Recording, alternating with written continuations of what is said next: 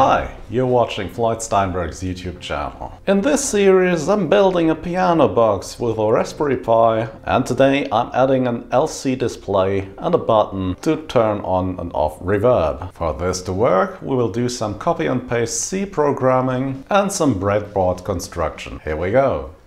This is part two of a series of videos and in the first part, which should be linked here, um, I showed uh, how to uh, download and install a Soundfont player and the Jack Daemon and I installed an audio card and a MIDI keyboard and I showed you how to connect all of this and set up the software so you can play the piano. And today I want to automate this process uh, so you don't need to enter all those command lines and I want to add an LCD screen and a button for turning on and off reverb and um, yeah, let's see what we need for this. So in hardware we need an LC display, a push button, four separate wires, two 10 kilo ohm resistors and a ribbon cable with at least four connectors. And I'm still using my breadboard here. This is just a board with a lot of pinholes which are connected to the Raspberry Pi's GPIO port so I can easily move around wires and components in order to test things. The LC display has 4-pin connectors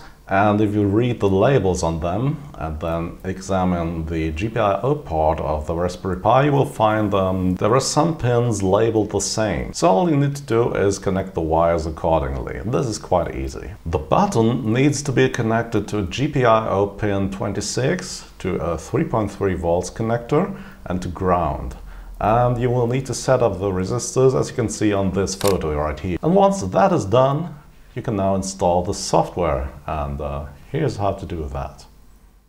Now we need to install some software packages to make the LCD, the button and the reverb work. So in the command line window, enter the commands shown on screen right now. They're also in this video's description for you to copy and paste. This will install the WiringPi library for the LCD and the button, and it will also install JConvolver, which is a standalone convolution reverb that plugs into Jack. Now in order to test the reverb, follow the steps in the first video to get the piano up and running and then enter the lines shown on screen right now. This connects the input of the reverb to the piano and the output of the reverb to your system's audio output. Now what is a convolution reverb? Basically, it's a clever Fourier transformation which takes one sound signal and uses it as a reverb model for another signal. So for example, if I record a short burst of noise with a big reverb on my synth and load that audio file into JConvolver, we get this result.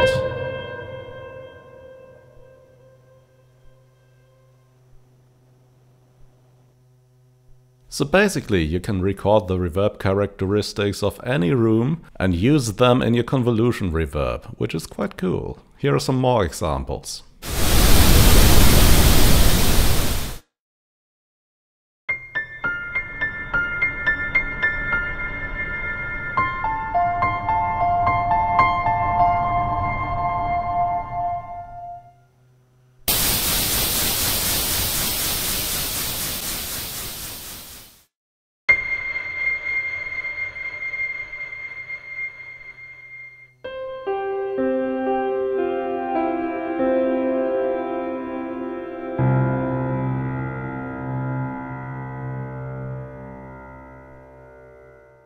Hey, Future Floyd here. While reviewing this video, I noticed I failed to mention um, this reverb will work best if you have lots of RAM. It doesn't tax the CPU a lot, so it'll work on the Raspberry Pi 3B, but you can only use small reverb files. So for this video, I opted to use the Raspberry Pi 400. And now let's continue.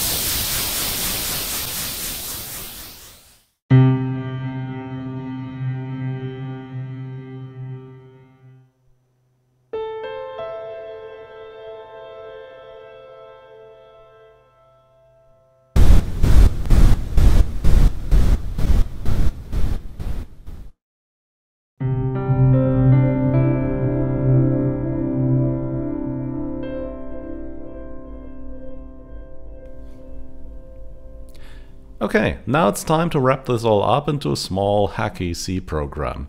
I won't bore you with details here, but basically my program defines a run level that starts at 0 and goes up to 4 or 5, and then it issues some system calls to launch all the apps we used so far, beginning with ASFIZ and A to J MIDI D, and then searching for a MIDI keyboard with jack LSP-C, then connecting that, then launching the reverb, then connecting that to Jack Daemon, and so on.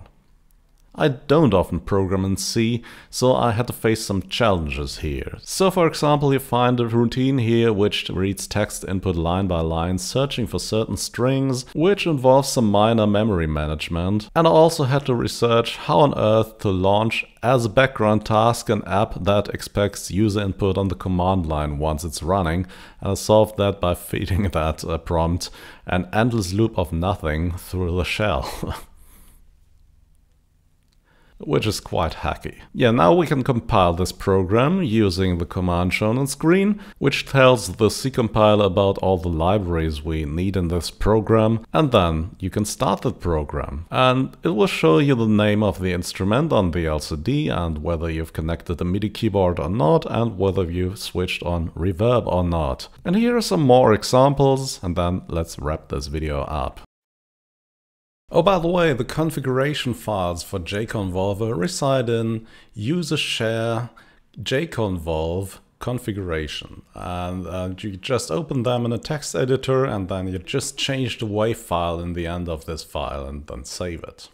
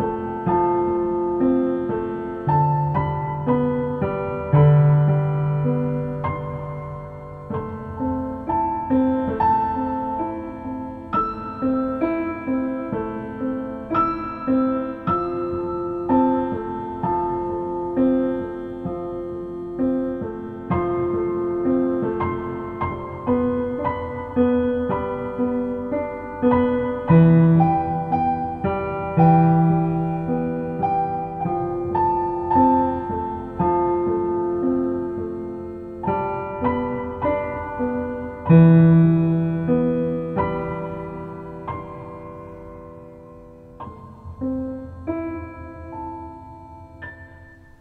Oh, by the way, if you like content like this, and if you want this DIY series to continue, please consider subscribing to my channel. And if you want to support what I'm doing here financially, buying all these Raspberry Pi components isn't exactly cheap at the moment. You can do so by joining my Patreon, becoming a YouTube member, or buying some of my music over on Bandcamp. Links are in this video's description. Thank you!